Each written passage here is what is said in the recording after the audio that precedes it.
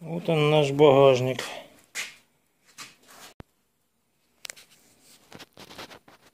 Решил я ему дать. К сожалению, вот эту красоту, но не получается у меня сделать. Она не хочет выходить. Вот, и я решил дать ему постоять в багажнику чуть-чуть, чтобы он чуть успокоился. Вот еще надо будет поправить, но опять же и вот эту.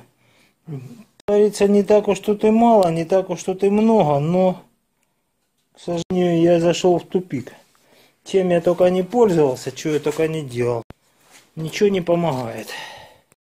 Я решил сделать небольшой перерывчик, отвлечься, вот, отдохнуть на вот такой красоте. Вот, почему? Потому что уже меня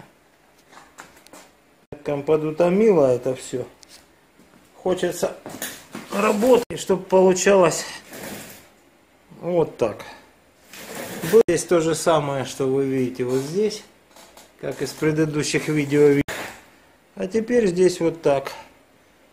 Ровно, красиво и аккуратно. Вот, чуть я отдохну от машинки, и машинка от меня отдохнет.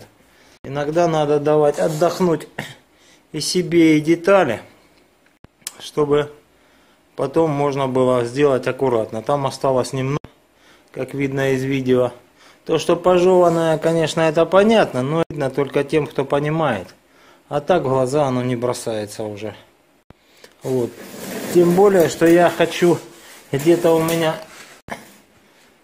может, через денек, через другой появится возможность взять этот самый индуктор, делать опять такое же в таком же месте, вот как вот здесь, вот тоже, кстати, у нас есть. Вот мы видим, да?